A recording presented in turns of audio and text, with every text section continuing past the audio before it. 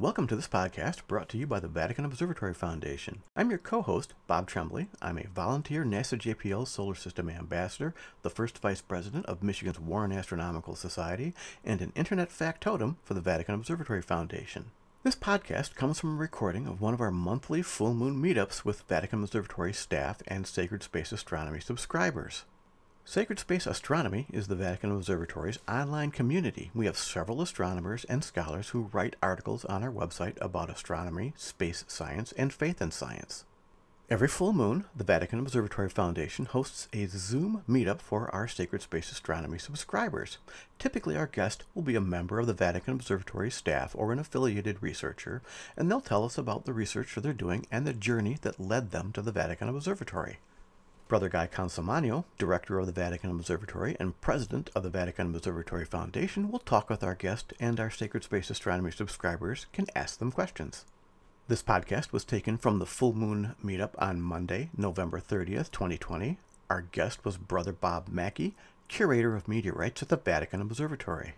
Okay, well, our guest this week is Bob Macke. Let me start a little bit by asking, you know, where you're from and what it is that uh, got you into astronomy. First of all, the embarrassing question for you, where do you say that you are from?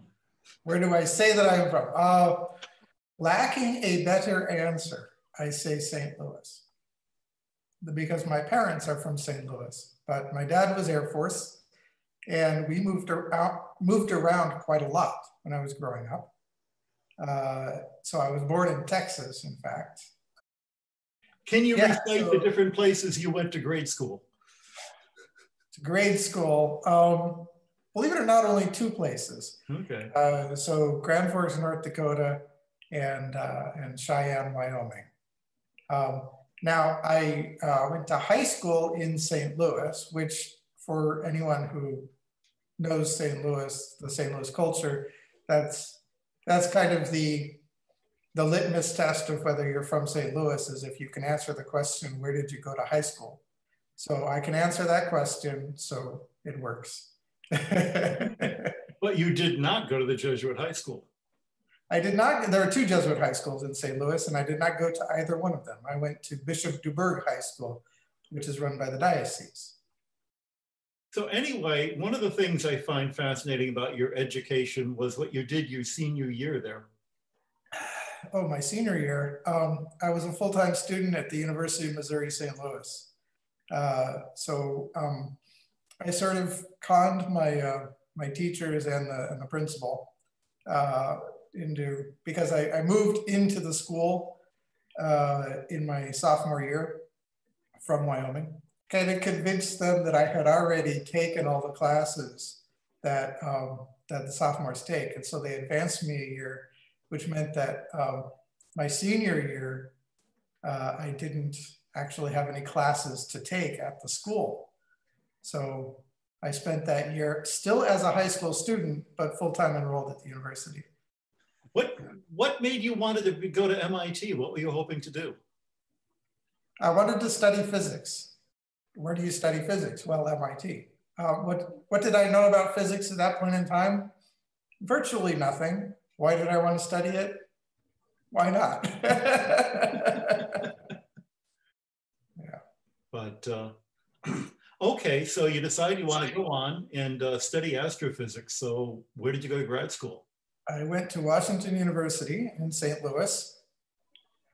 What they do there is they study um, pre-solar grains uh, and um, and interstellar dust particles. These are these are uh, dust grain sized objects, micron sized objects that are typically uh, uh, embedded in meteorites that somehow survived intact without getting thermally processed uh, before they got embedded. So they are still intact dust grain specimens of um, that were formed originally in astrophysical sources. So uh, supernova envelopes uh, or the um, atmospheres of, of asymptotic giant branch stars.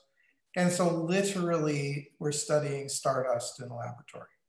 So that was the connection between astrophysics and what you were doing. Did you have any kind of knowledge or background in geology at that point? I had none. Uh, while I was there, I, I, took an inorganic geochemistry course. My dad, by the way, is a geologist. And so I sort of had some stuff I picked up from osmosis, but in terms of actual formal training, none at that point. Um, uh, um, how was your dad in the Air Force also a geologist? Uh, well, he um, did his uh, university studies in geology and paid for it through the GI Bill. And uh, so when Vietnam came around, he got called in to serve. At that point in time, he was, uh, you know, he was married, and uh, my oldest brother had been born, and and uh, he saw the military as um, job security, which at that point was more important than his own pursuing of his, of his own goals. So he stayed many, in that career. How many siblings did you grow up with? There were six of us. Uh, so five boys and one girl. And you're in the middle. You're in the middle of the bunch. What's that? You were in the middle of the bunch. I was number four. Yeah. Okay. Four of six. Not not seven of nine, but four of six. so during all of this time, um, were you interested in religion? Had you been thinking about being a priest or a brother, or did you know the Jesuits? Was any of this in the background? Well, I was a devout Catholic, um, and uh, notice that was the past tense. That was before you became a Jesuit. I still am a devout Catholic. I, I should point out. Uh, and uh, in fact, a week or so ago, I gave a wonderful talk uh, to the MIT Tech Catholic community, which is re really where I was originally formed in my faith.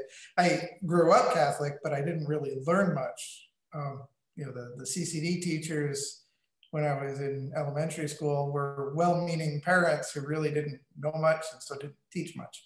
Um, and so I didn't really learn much about my faith until I left left the home and uh, and uh, went to college. So the MIT Tech Catholic community was kind of where I really started learning. Um, and uh, uh, so just last week or, or, a week or two ago, I, I, gave a talk to the Tech Catholic community uh, about uh, faith and science using all the wonderful stuff that I've learned in my many, many years of Jesuit training and my experience here at the Vatican Observatory. And it, it went over very, very well. I should point out that uh, they okay. uh, they enjoyed it. They they learned a lot. So, so you're you're at MIT in the '90s, right? In the '90s, yes. Did you overlap with Bob Moran? Uh, I did not. Um, he was the, I, the chaplain there when I was there. Right, and and he uh, he had been gone for about 10 years, but I actually encountered him when I was a novice. Oh. So uh, we, it, I, I, did my novitiate in between 2001 and 2003 in uh, St. Paul, Minnesota. And um, to kind of share resources, uh, various classes about ecclesiology and various related subjects, uh, we would share classes with the other uh, novitiates and postulancy programs for the various different religious orders and congregations in the Minneapolis, St. Paul area. And so he happened to be the, uh, the novice master for the um, Paulists right. uh, who were in, in the area. So, so I encountered him there. Excellent. So anyway, to go back to, you know, you're, you've graduated from MIT, you're in grad school. Was uh, the idea of being a member of a religious order anywhere in the back of your mind? It, it cropped in, I mean, I think that the call was there, but, but I wasn't paying attention because obviously I had my own plans. I was going to get my PhD in something cool in astrophysics and go on and earn a Nobel Prize and, and all that. I mean, you know, that's like what everyone does, right? Mm. But when I was at WashU, uh, that's when I started to recognize that I was being called to religious life. And also I was having a pretty rotten time in the graduate program there. Um, I really had no energy or attention for the research that I was doing. And uh, which I think gave me the opportunity to pay attention to a few other things like where God was calling me. And uh, then I recognized what was called a religious life.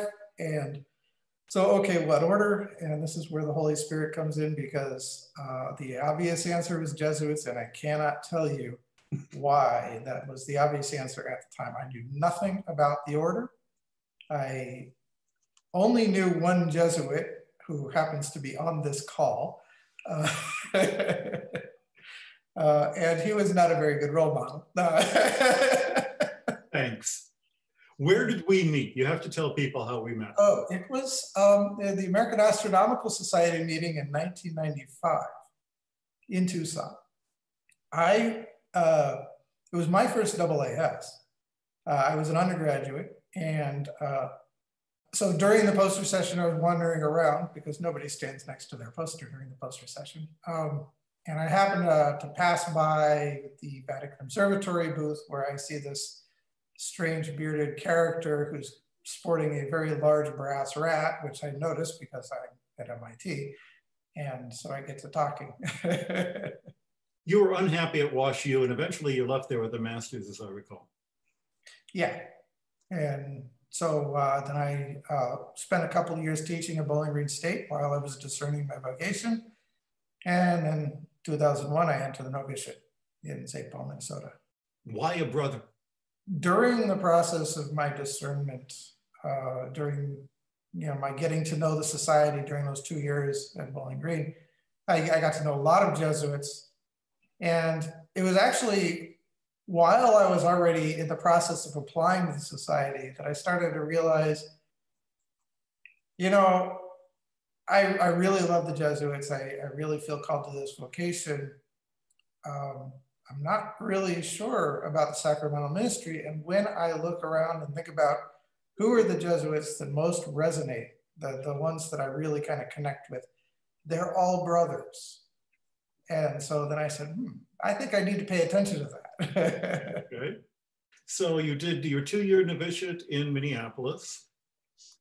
And then where'd you go? And then I studied philosophy at St. Louis University.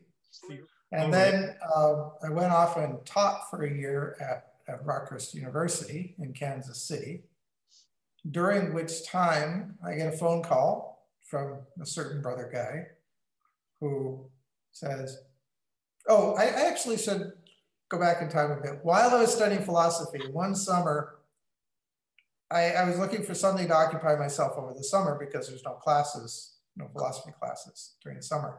So, um, and I, I was exploring all these different possibilities, none of which were panning out. So I, I, I knew Guy. I gave him a call and I said, "Do you know of anything I might look into?" And he said, "Why don't you come to Rome and work with me?" so I spent a summer uh, working on meteorites here at, at the observatory.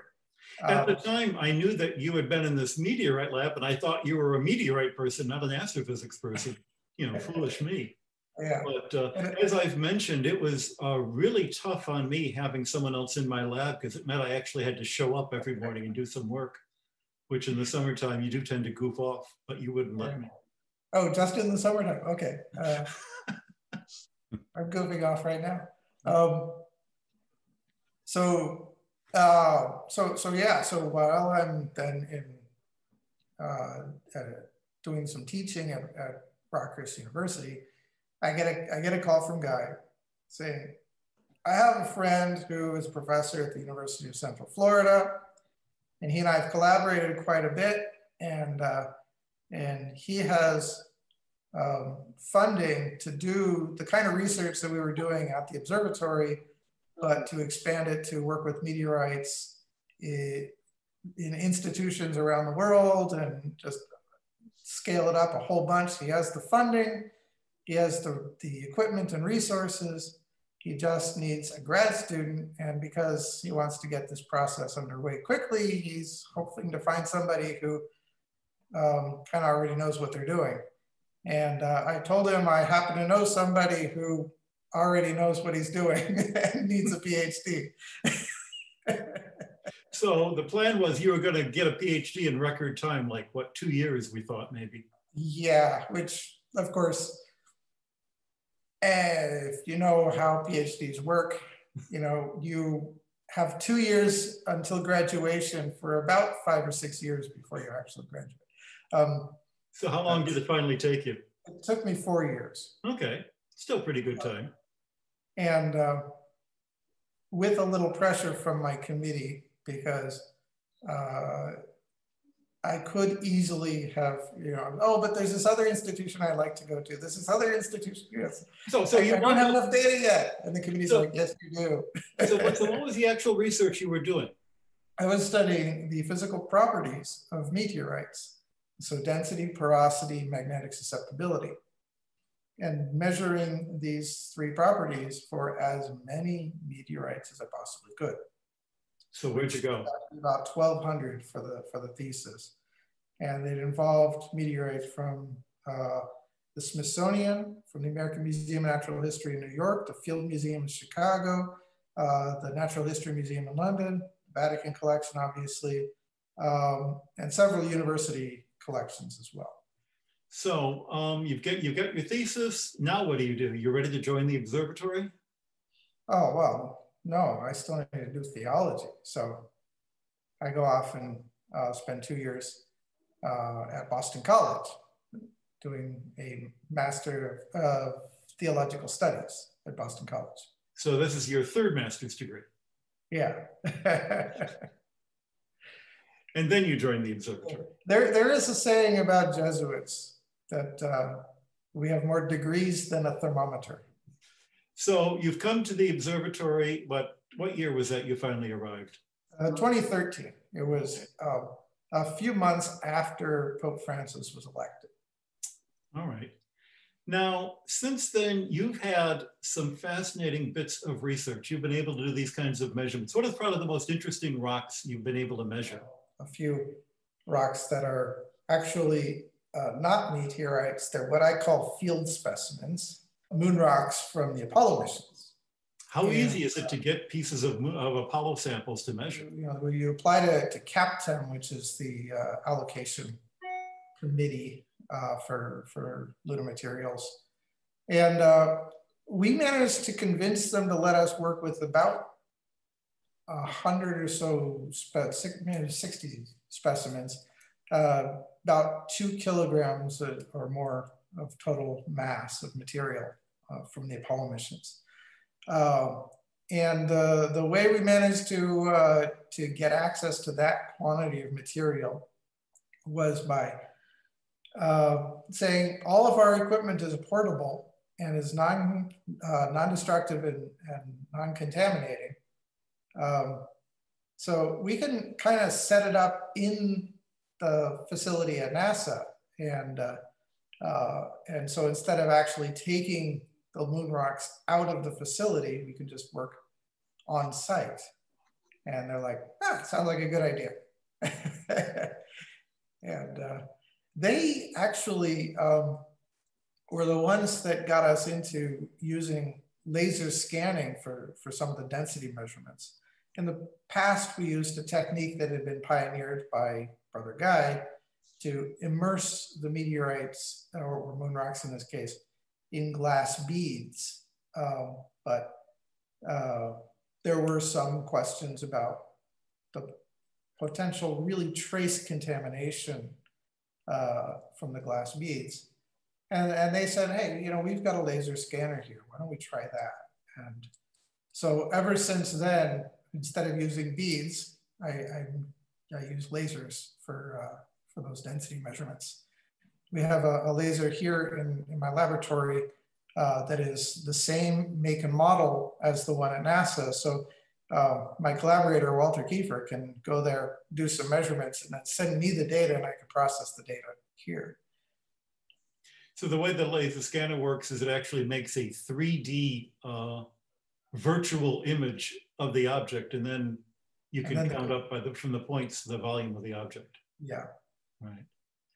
So this is um, your, your deep ambition, of course, is to be a mad scientist. You now have a laboratory with a laser built yeah. on the lip of a volcanic crater. So I have a volcano lair. Yes. yes. and, and minions who work with you. Well, they, they mostly just get in the way. but that's what minions do. That's what minions do. these are these little plastic images from the movie Minions with your. And the one thing I do want to have you talk about before we go to answering some of the questions is Lucy. Yes. So there is a space mission in the works. It's going to launch in October 2021, so a little less than a year from now. Uh, and the, this mission will visit at least six Trojan asteroids. So Trojan asteroids are uh, asteroids that are out at the orbit of Jupiter, but are 60 degrees ahead or 60 degrees behind Jupiter in that orbit. They're, they're trapped in Lagrange points. And they have been trapped there theoretically for, well, from early ages of the solar system and may have uh, preserved certain types of, of asteroids that otherwise had been depopulated when uh, material got ejected in the early days of the solar system. So uh, the idea kind of is that the hope is that these these asteroids may represent kind of a missing link, I guess, in um, in the history of the solar system, and hence hence the name Lucy, which connects to the, the early hominid, Lucy, that was discovered by John, Donald Johanson back in back when. And actually, funny thing is, on the way out to the Trojans, the mission is going to pass by an asteroid in the main belt. And that asteroid had not been named prior to the mission, so they uh, so they gave it the name Donald Johanson. So I had no idea that's where the name came from. So it's not an acronym for anything. No, it's it, it, that's one of the few missions that is not an acronym. It is actually a name.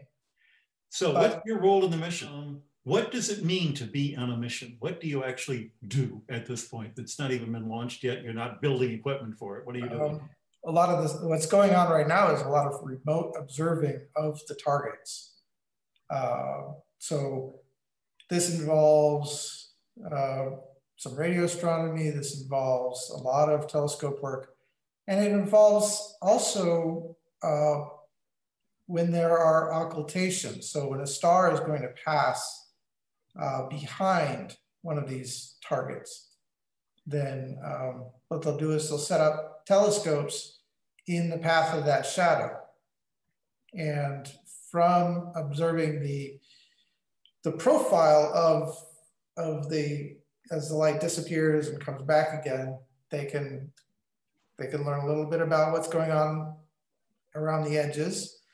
But also, if you have enough telescopes, you can develop a shape profile of the objects, and you can really pin down some of the size, the size and other parameters uh, by doing this. So that's a lot of what's going on right now, science-wise there was also a lot of science going on in terms of trying to anticipate the uh, how good the observations are going to be in terms of you know when they observe it they're going to try to create a, a model of the, the, shape of the object.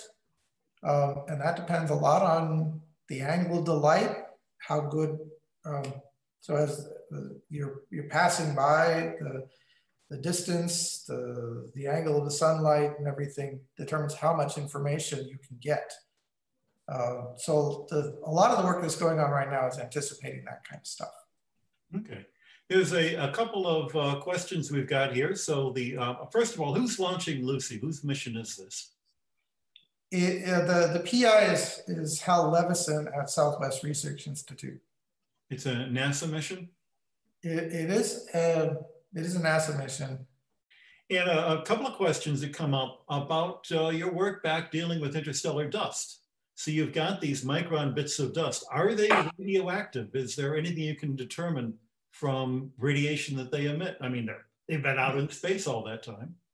They do not emit radiation. Um, the way we learned about them, the, the, the way they they were studied is through uh, secondary ion mass spectroscopy. So the idea is you, you shoot an ion beam at the, uh, the specimen and spall off ions from the specimen um, and then accelerate those ions through a mass spectroscopy, as a mass spectroscope. And uh, so the primary thing they were studying in this is, uh, is the various isotopes. So isotopic ratio is very big because that's, that's one of the ways you can tell that something actually did not originate from the solar system is if its isotopic signature is way off of, of solar. Um, so the, the ratio of, of oxygen 16 to 18 or the ratio of uh, um, the various uh, isotopes of carbon or various other things. And also from those data, you can also begin to, to understand where these things originated. And also, um, depending on how, how good your models are, the conditions in those environments where those things originated. Because for instance, some um, one, of, one of the more interesting things that we see are graphite grains with in the very core, the, the way you study this is through a, uh, a TEM, a transmission electron microscope. The very core of these of these uh, graphite grains is a um, a titanium carbide grain, a very tiny one. It's basically a little tiny titanium carbide and then graphite sort of accumulates around it, making a, a larger grain. Um, and so the way that thing had to form is you have certain conditions that form the titanium carbide, and then other conditions that allow the, the graphite to start to begin to accumulate on top of that. And that puts some constraints we know these things originate in, in AGB atmospheres, but it puts some constraints on the conditions in those atmospheres because you can only form the grains under certain conditions. And uh, so it, um, one of the, the ideas that came from that is that the, the, those grains formed in a, in a jet, um, a polar jet from, so, so you have the titanium carbide forming in the atmosphere, but then it enters into this jet and the graphite is, is added in the jet. Things like that. It's kind of cool. The other thing that I always found fascinating is you're talking about you have the sample and you're shooting ions at it. How in the heck do you get this sample out of the meteorite?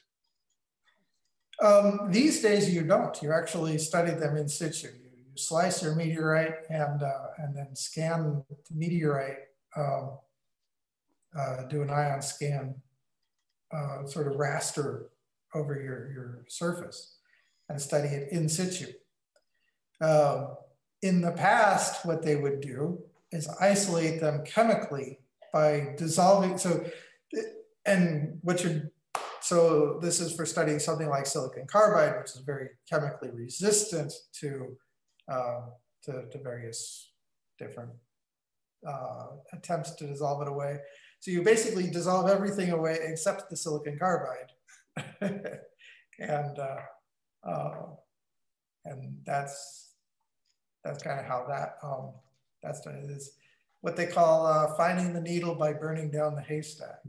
This is actually um, an interesting thing in my role as curator, um, or in my collaboration with other curators, is one of the questions that we as a curation community have is uh, how to curate these very tiny microscopic uh, uh, fib sections that, um, that, you know, what sort of policies, what sort of practices should we use for, for keeping track of these things and, and curating them, which we don't have a good answer for at this point. Well, that reminds me of another great job that you did as you've been the curator since 2014, but you've been active in organizing the other meteorite curators around the world. Uh, tell me a little bit about that.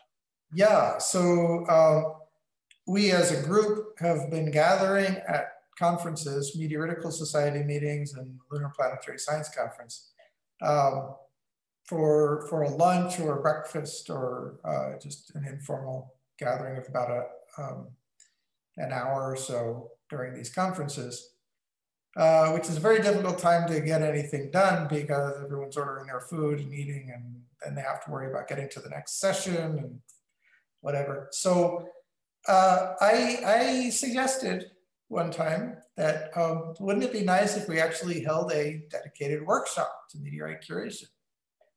And uh, so invited everyone out to the Vatican. And so we held a, a workshop and it was a, a smashing success. Um, and everyone, you know, by the by the end of the meeting, everyone was saying, "When's the next meeting?" Which unfortunately we haven't had time to schedule yet because COVID and stuff. But um, so we had the very first meeting, uh, you know, very first workshop on the curation of meteorites and extraterrestrial specimens here at the Vatican. And we had you know, the curator of the Apollo specimens. We had uh, a guy who was curating the, uh, the Hayabusa return specimens in Japan from the asteroid Itokawa. Uh, and, you know, all, all my friends and the usual suspects. Speaking of these uh, asteroid sample returns, do you have any hope of getting any materials from either the Japanese or the American missions that are bringing samples of asteroids back to us? Well, none of them are going to come here to the Vatican Observatory, but I might go to them. Uh, I've been talking with a guy at the University of Arizona who has been charged with measuring the physical properties of these return specimens from Bennu, from the OSIRIS-REx mission. Uh, and so he has asked my expertise because I've done a lot of work uh, in this field. And uh, I may go and help him out with some of those measurements. Since this audio is recorded, Brother Bob has indeed been invited to be a participating scientist to help measure the physical properties of materials from asteroid Bennu, sampled by NASA's OSIRIS-REx asteroid sample return mission. This mission is due to return its sample to Earth in early 2023. Brother Bob has also taken up 3D printing and has created an impressive replica of St. Ignatius Cathedral with Father Angelo Secchi's spectroscopic observatory on top. This is on display at the Vatican Observatory Museum. You can check out Brother Bob's YouTube channel, Macke Makerspace, that's spelled M-A-C-K-E. That's a wrap for this podcast. Our audio editors were Brother Guy Consolmagno and myself, Bob Tremblay. You can listen to our other podcasts and read our posts on the web at vaticanobservatory.org. If you'd like to attend our full moon meetups live, join our Sacred Space Astronomy community, also at vaticanobservatory.org. Clear skies, everyone.